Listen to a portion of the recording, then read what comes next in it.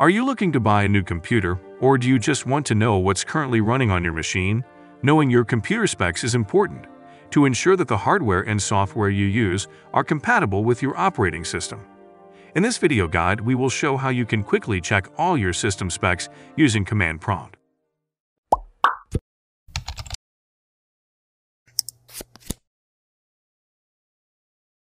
To check the system specs, just search and open a command prompt.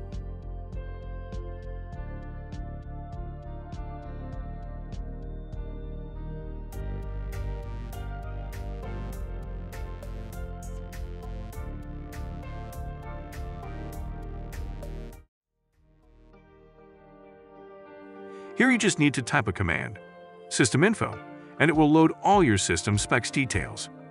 Type this command and hit enter.